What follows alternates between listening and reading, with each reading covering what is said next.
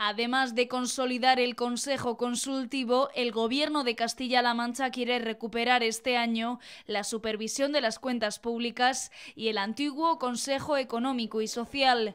Emiliano García Paje, por cierto, no se decanta ni por Pachi López ni por Susana Díaz de momento, pero avisa de que una candidatura de Pedro Sánchez no conviene al PSOE. Cae una banda de aluniceros, robaba máquinas de tabaco de locales comerciales. También la Policía Nacional ha desarticulado otra banda que sustraía camiones y remolques con las cargas completas. Reunión en el ayuntamiento con los policías locales de nuevo ingreso y con los que han ascendido de categoría. Son seis nuevos agentes. Próximamente se convocarán las dos plazas que quedan pendientes. Ciudadanos pide a la Junta que mantenga su apoyo económico a Vicine. La formación reclama el respaldo de las instituciones a la cultura local.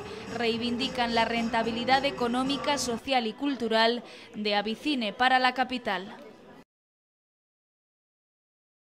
Desde hoy hasta el 19 de enero, ejercicio práctico de la Policía Nacional en el antiguo Colegio Marillanos Martínez.